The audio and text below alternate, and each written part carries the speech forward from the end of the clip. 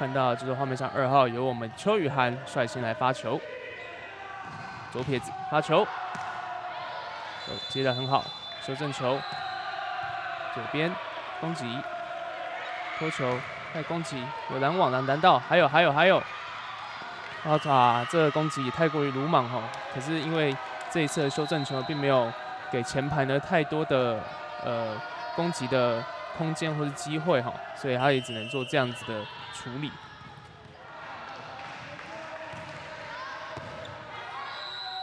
嗯，接到，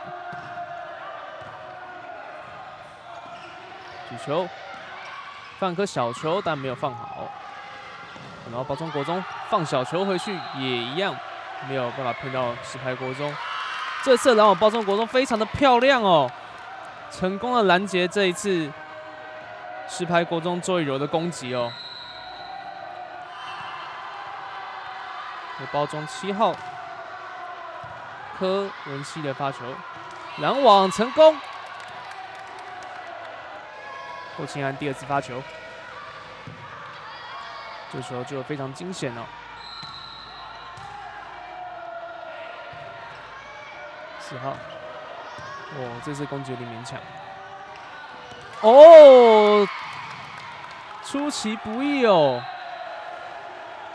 刚好打到了前排跟中排，前排跟后排中间非常尴尬的地方哦，而且球呢也相当有力道，完全没办法让人反应哦。对于石牌国中两位女强人的出现，我想对教练的攻击策略方面可以说是有非常大的利用空间哦。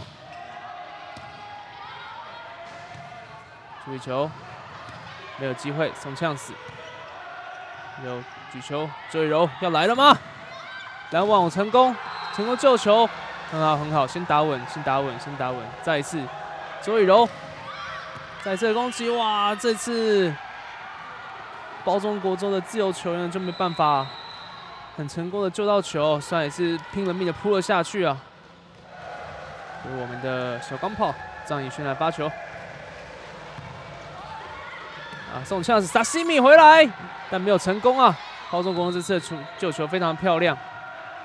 然后后排前排周雨柔再来，成功的拿下了这一分。那最后呢，石牌国中人就以二十五比九呢拿下来第一局的胜利。还有包中国中六号球员发球，张子怡举球，四号位周雨柔又是你，有救好的哦，直接自由攻击的拦网打到中间的三不管地带啊。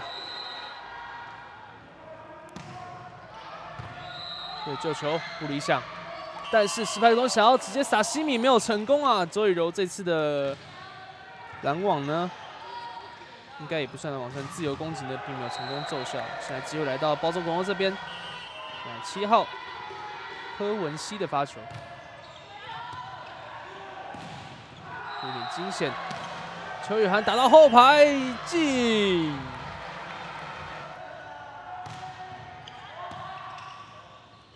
也不错，周雨柔，那这次包中之后处理起来了，还有还有，小心，先送呛死。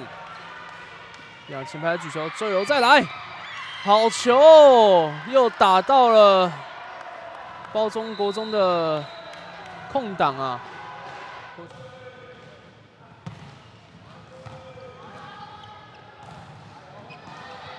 我们国中加油，有没有结束啊？